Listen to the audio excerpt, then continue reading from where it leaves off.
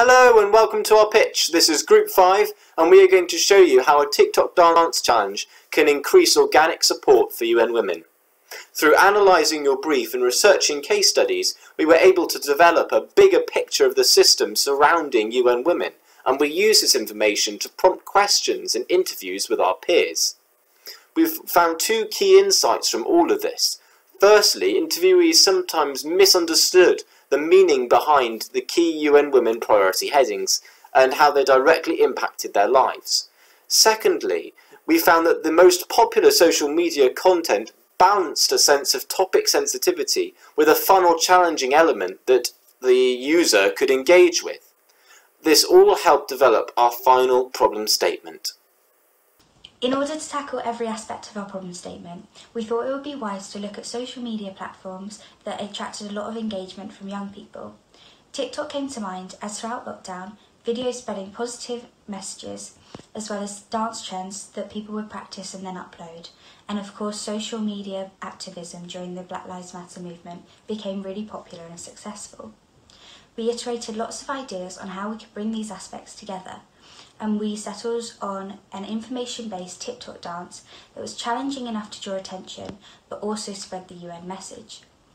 It was key that this dance could be replicated by all age and genders and equally the music choice was super important. In this example we used the song Lights Up by Harry Styles as we thought it fitted well with the practical aspects of the Safe Spaces Now campaign, combined with Harry Styles' positive outlook in his musicology. Now we'd like to show you our trial dance and how it would catch on.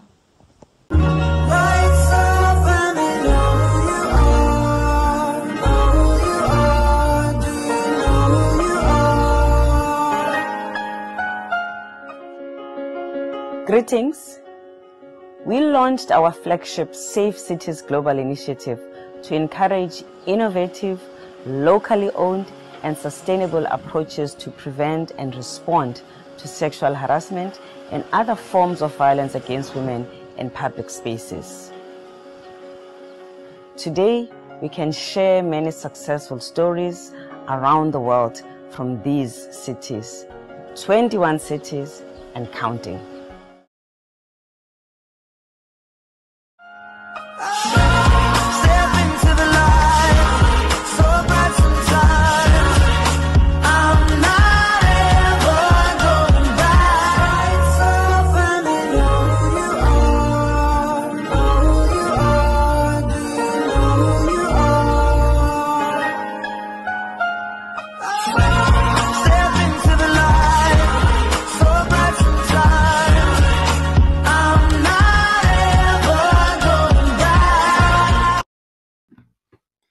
The aim of the TikTok was to encourage people to spread the message on the video and to also have them notice the message themselves.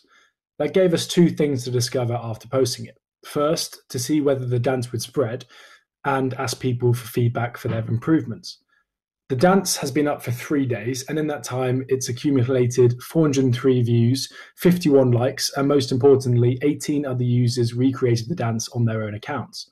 Seeing as our account that posted the original video had three followers at the time, this has positive impl- implications for it catching on.